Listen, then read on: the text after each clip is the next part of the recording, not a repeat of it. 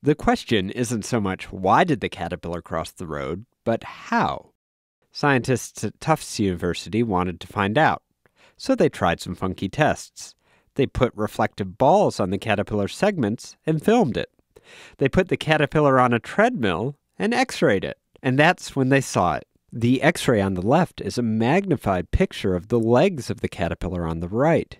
Look carefully, and you can see the caterpillar's gut sloshing forward ahead of its legs. Let's watch that again in slow motion. The blue dots mark locations in the caterpillar's gut.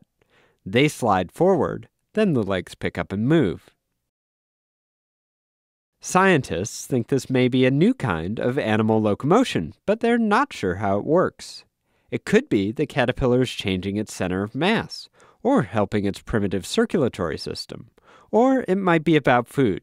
Caterpillars are eating machines, and the gut slide might aid digestion. Whatever the reason, this caterpillar is literally going with its gut.